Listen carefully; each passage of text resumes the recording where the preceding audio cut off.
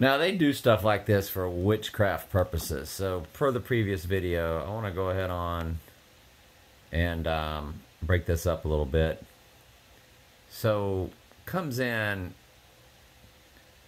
small shoulders, Kelly McGillis, and um, I mean I think that's the edge of the shoulder right there, right?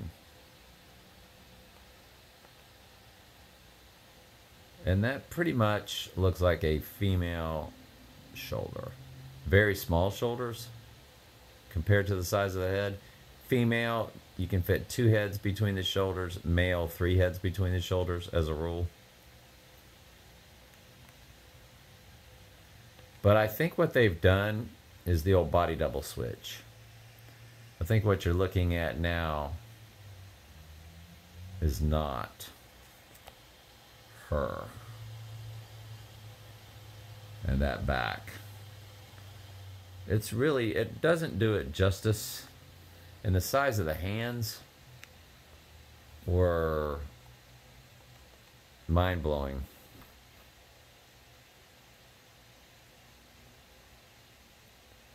But I'm looking at a really broad back, a, a like a really thick back, broad shoulders, and they never show the face.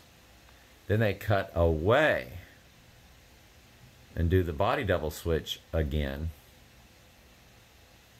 And now what you're going to see is her face again. But you notice, and then it's shot very high to where you're not seeing the large back anymore. And so it's very interesting the potential of how they could, because that looks like narrow shoulders, much smaller shoulders, a smaller back. Not that that can't be an MAN 100% of the time, but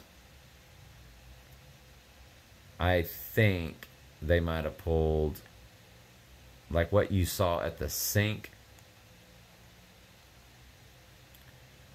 what you saw there. Notice you never